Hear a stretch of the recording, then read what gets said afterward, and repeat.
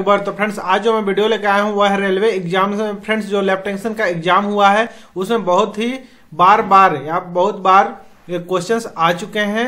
तो फ्रेंड्स चलिए स्टार्ट करते हैं आज का क्वेश्चन जो बहुत ही इंपॉर्टेंट है फ्रेंड्स तो सबसे पहला क्वेश्चन है V D R L antigen is an alcoholic solution of तो जो वी डी आर एंटीजन होता है, वह एल्कोहलिक विलियन है। किसका होता है? ऑप्शन है cardiolipin starch boric acid and saline and correct answer है friends answer number A cardiolipin second question है which one of the following is not a blood components तो निम्न में से कौन सा एक रक्त का अवयव नहीं होता है, जिसको कंपोनेंट्स बोलते हैं?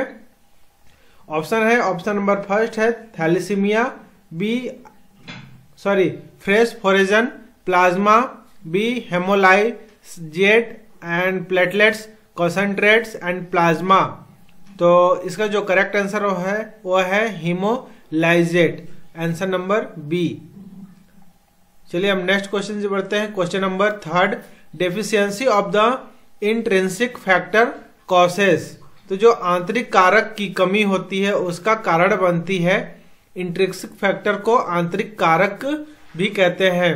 तो ऑप्शन नंबर फ़र्स्ट है thalassemia B iron deficiency anaemia C aplastic anaemia and D pernicious anaemia and जो करेक्ट आंसर है, वो answer number D pernicious anaemia next question in in improved Neubauer chamber how many medium square are use in counting red cells तो जो बेहतर न्यूबोर chamber होता है, जिसको improved Neubauer chamber कहते हैं, उसमें जो लाल कोशिकाओं की, जो लाल रक्त कोशिकाएँ होती हैं उनकी गिनती कितने मध्यम वर्गों का उपयोग किया जाता है?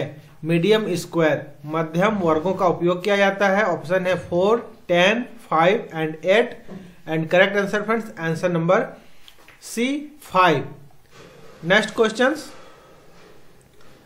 biocatalysed synthesise by living cell are called. अर्थात जो जीवित कोशिकाओं द्वारा संश्लेषित बायो कैटेलिट्स को कहा जाता है ऑप्शन है विटामिन, सेकेंड है फैट, थर्ड है अमीनो एसिड्स, एंड फोर्थ है enzymes. And correct answer friends, answer number D, enzyme. Next question what is the normal haemoglobin concentration in adult male waste जो पुरुष होते हैं, उसमें सामान्य हीमोग्लोबिन सकेंद्रता क्या होती है? तेरह से बीस ग्राम पर डेसीलेटर तेरह से सत्रह ग्राम पर डेसीलेटर तेरह से पंद्रह ग्राम पर डेसीलेटर एंड ग्यारह से पंद्रह gram decilitre and correct answer friends answer number B तेरह से सत्रह gram per decilitre next question है half life of immunoglobulins IgM is days तो जो इम्नोग्लोबुलिन्स जिसको एंटीबॉडीज के नाम से भी जाना जाता है आईजीएम इम्नोग्लोबुलिन्स एम मतलब इम्नोग्लोबुलिन्स म्यू की अर्ध आयु कितने दिन की होती है? ऑप्शन है, पंद्रह दस, पाँच और तेईस। तो इसका जो करेक्ट आंसर है फ्रेंड्स वो answer number C five days की हाफ़ लाइफ होती है इम्नोग्लोबुलिन्स आईजीएम की। Next question which one of the following organs secretes insulin तो निम्न में से वह कौन सा अंग है जो इंसुलिन का स्त्राव करता है? ऑप्शन है पेनक्रियास जिसको अग्नाशय भी बोलते हैं। सेकेंड लिवर यकृत, किडनी, और चौथा है हार्ट मतलब हृदय। तो इसका जो करेक्ट आंसर फ्रेंड्स वह है answer number A pancreas next question the volume of air inspired और expired during a normal quiet respiration is called volume अर्थात जो सामान्य शांत, जो श्वसन के दौरान प्रेरित या समाप्त होने वाली वायु की मात्रा को कहा जाता है तो टोटल या फिर कुल टाइडल जिसको ज्वारीय भी कहते हैं एंड रेसिड्यूअल अवशिष्ट एंड रिज़र्व तो इसका जो करेक्ट आंसर है, वह होता है friends tidal answer number B जिसको हिंदी में ज्वारीय भी कहा जाता है। Next question which of the following media is use for differentiating lactose formatting from and non lactose fermenting form अर्थात जो लैक्टेस फर्मेंटिंग फॉर्म और नॉन लैक्टोज फर्मेंटिंग फॉर्म में जो अंतर करने के लिए निम्न में से किस माध्यम का प्रयोग किया जाता है? Option number first MacConkey agar second blood agar third mannitol salt agar and tellurite agar. And correct answer, friends? Answer number a mac conky agar. Answer number first. Next questions. Elevated level of serum cholesterol are associated with. अर्थात जो serum cholesterol के जो उच्च स्तर होता है, वो किससे जुड़े होते हैं? फिल इन द ब्लैंक से जुड़े होते हैं। ऑप्शन नंबर ए है पेनक्रियाटाइटिस जिसको अग्नाशय शोध या पेनक्रियाटाइटिस कहते हैं। एपेंडिसाइटिस जिसको आंत्र पुछ कोप भी कहा जाता है। एंड थर्ड है एस्थेरोलो, एस्थेरोक्लेरोसिस एंड रिनल कॉलिक जिसको गुर्दा, उदरसुल या रिनल कॉलिक भी कहते हैं। तो इस तरीके से इसका जो करेक्ट आंसर है वह answer number C atherosclerosis next question which one of the following is not the site selected for collection of bloods अर्थात निम्न में से कौन सी साइट जो होती है जिसका चयन रक्त संग्रह के लिए नहीं किया जा सकता है? तो ऑप्शन है स्प्लिन, जिसको तिल्ली भी कहते हैं आर्टरीज अर्थात धमनिया एंड कैपिलरीज केसिकाएँ और वेंस, जिसको सिराएँ बोलते हैं। तो इसका जो करेक्ट आंसर है फ्रेंड्स वह है स्प्लिन, अर्थात तिल्ली का उपयोग नहीं कर सकते हैं। नेक्स्ट है what is the length of Wintrobe tube तो जो विंट्रोप ट्यूब होती है, उसकी लंबाई क्या होती है? विंट्रोप ट्यूब का इस्तेमाल जो हम करते हैं, वह E S R erythrocyte sedimentation rate ज्ञात करने के लिए किया जाता है। तो ऑप्शन नंबर ए है 11 M M B one fifteen M M C one twenty five M M and D one ten M M and जो करेक्ट आंसर है फ्रेंड्स वह है answer number D one ten M M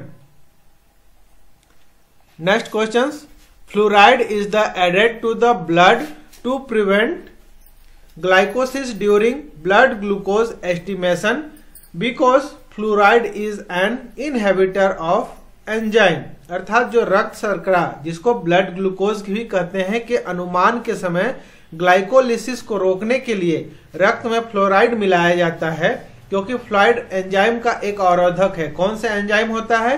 तो option है aldolase hexokinase enolase and phosphatase and जो correct answer है friends वह है answer number C enolase next question the main part of a shaft of the bone is called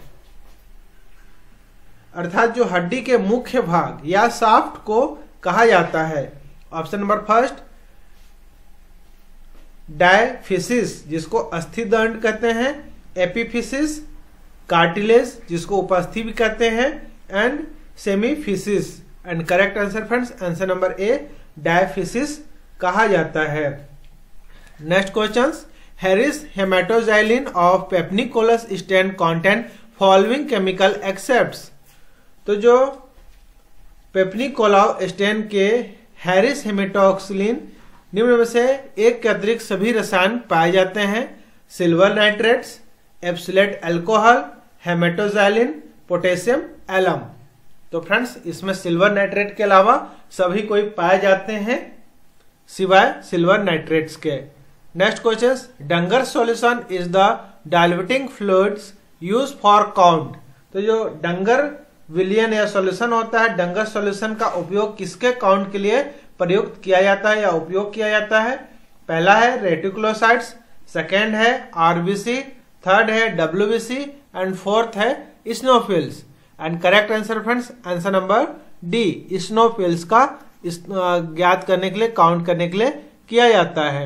Next question when the living cell are stained after being remove from the body it is called staining अर्थात जब जीवित कोशिकाओं को body से remove करने के बाद जब शरीर से अलग किया जाता है तो उसके बाद जब स्टेन किया जाता है तो उसे स्टेनिंग कहते हैं।